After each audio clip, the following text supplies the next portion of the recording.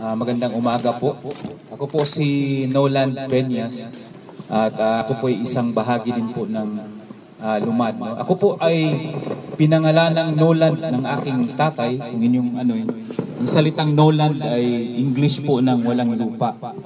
Ako po ang panganay sa apat na magkakapatid. So nung pinanganak ako, wala pang lupa. Kaya ang pangalan ko po ay Nolan. Oo. Tapos ang pangalawa po namin, kung namin ah, sumunod po sa akin isang babae, ang pangalan naman po niya ay Whoopsie Jane.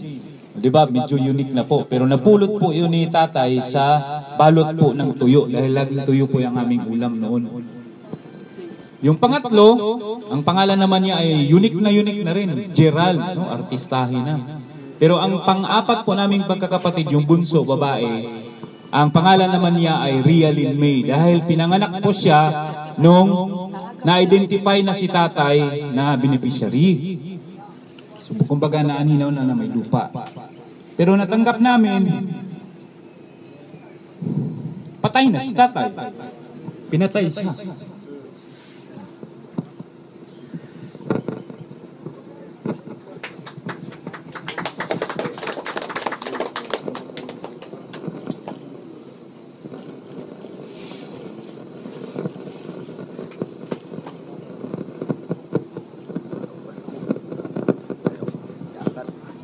Sorry po.